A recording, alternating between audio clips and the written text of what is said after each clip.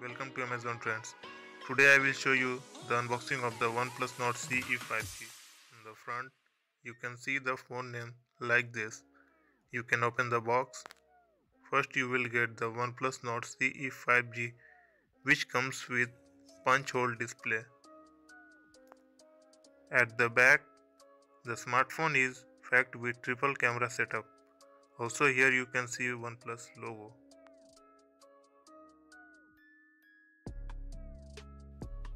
Next, we have this lid inside. You will find a SIM ejector tool and documentation like quick start guide, safety information guide, SAR value guide, OnePlus stickers and Red Cable Club card from OnePlus. Here is the transparent back cover. Next is a USB Type-C cable for charging the phone and transferring the data and here is 2 pin wall charger which supports 30 watts of fast charging.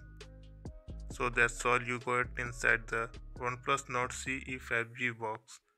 Thank you so much for watching the video